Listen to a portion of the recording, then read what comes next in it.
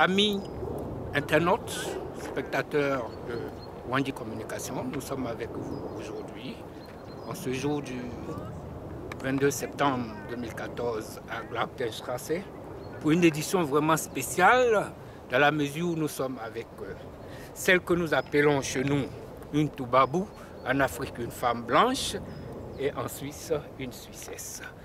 Alors bonjour madame. Bonjour Vous monsieur êtes, hein? Manao. Je m'appelle Yvette Fall Ok, et alors... je suis suissesse. Voilà, donc euh, Yvette euh, Fall est Suissesse. C'est une habituée de la communauté black de Suisse. Aujourd'hui, nous l'avons approchée pour recueillir son point de vue sur... euh, D'abord sur l'immigration, madame.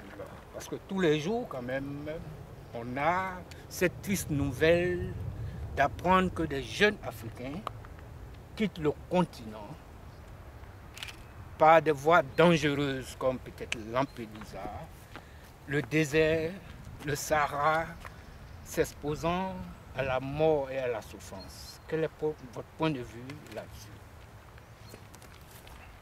Un point de vue, euh, d'abord je trouve que c'est très triste.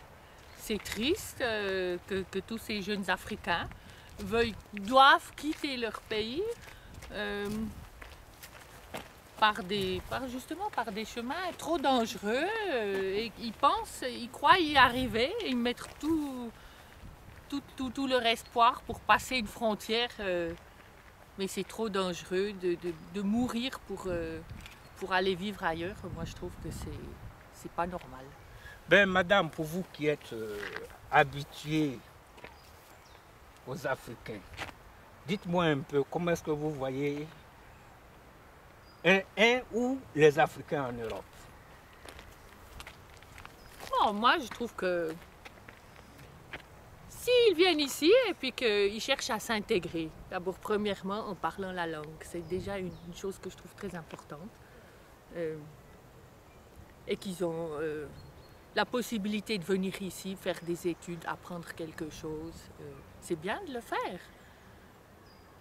Mais venir ici euh, sans savoir euh, qu'est-ce qui va leur arriver, le dépaysement, la langue, le- les, les mentalités suisses ou européennes, c'est tellement différent qu'ils devraient d'abord euh, apprendre à connaître un peu l'endroit où ils veulent aller, je pense. Ben, madame, vous, vous avez vécu, vous avez vécu avec un Africain, vous, vous avez été marié avec un Africain. Oui. Vous pouvez un peu décrire la personnalité de ces personnes que nous sommes? Un Africain, par exemple, avec une femme blanche. Parce que je pose cette question justement parce qu'en Afrique, dans la conception des gens, c'est d'abord une femme blanche, les jeunes, les jeunes femmes, un homme blanc. Vous pouvez un peu nous définir ce que le contexte d'un mariage binational? Bon, le contexte. euh, moi, je dis, euh, j'ai pas choisi, ce, j'ai pas fait un choix. Moi, je dis, j'ai rencontré quelqu'un et c'était un Africain. Et il m'a plu parce que euh, ils sont gentils, ils sont intelligents, ils sont naturels. Euh, donc, pourquoi pas Pour moi, je vois pas la couleur de peau. Qu'est-ce qui vous impressionne chez un Qu'est-ce qui m'impressionne? Ils sont vivants, ils sont intelligents, sont sympas, ils ont euh, le bon cœur. Ah bon. Dites-moi un peu, madame, quelles sont les communautés africaines que vous avez fréquentées ici en Suisse Aïe. Non, ça je peux pas répondre. Non, non, mais dites-moi, enfin, vous avez fréquenté la communauté ivoirienne, un peu de peu, Oui, n'est-ce pas? ivoirienne. Bon, mais quelle impression vous avez sur cette, cette communauté en général? Bon, c'est plein de gens très intéressants, avec plein de bonnes idées, euh, qui devraient maintenant essayer de, de réaliser les bonnes idées, en pensant à tout le monde et pas en pensant qu'à soi. Il ne faut pas penser seulement à soi, à son petit, sa petite famille, il faut penser euh, à tout le monde, une, pe- une pensée plus générale euh, pour euh, se- soutenir et puis concrétiser des bonnes idées. Mais madame, vous, vous avez une connaissance de l'Afrique, vous connaissez l'Afrique, vous, êtes, vous y J'y suis jamais allée, Ben, Ça vous intéressait d'y aller oui, depuis toujours. Ben, si vous aviez, par exemple, un projet à proposer aux Africains Parce que la plupart de, de, ces Africains venus ici aspirent un jour à un retour. Qu'est-ce que vous leur direz? Rester ici ou bien retourner vivre chez eux? Moi, je dirais, s'ils ont envie de retourner chez eux, il faut qu'ils y retournent. Bon, s'ils ont une famille ici avec des enfants et qu'ils se sont bien, ils se sont installés et qu'ils se plaisent ici, je pense que c'est très bien de rester ici pour éduquer leurs enfants, les mettre à l'école, faire des études. Peut-être partir plus tard, mais s'ils veulent retourner chez eux et qu'ils ont la possibilité de le faire, il faut le faire. Mais vous pensez qu'un Africain a sa place ici, euh, dans une société où euh, il se retrouve peut-être seul avec, euh, avec sa femme et ses enfants, parce que voilà, il, il n'est pas, pas blanc comme on le dit chez nous, Bon, moi, je pense que c'est pas une couleur, c'est pas la question de la couleur qui est importante. Mais il y a une souffrance physique, une, souffrance morale quand même. L'Africain ici manifeste une certaine dépression parce qu'il est coupé de son monde, madame. Il est coupé de son monde, ça je peux comprendre.